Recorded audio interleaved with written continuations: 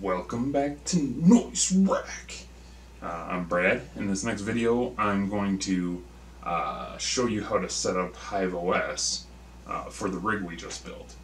So, um, I will. What I'll do is I'll make a new rig on Hive OS, and then I'll link the information that I built for that rig to my rig. We'll get it running.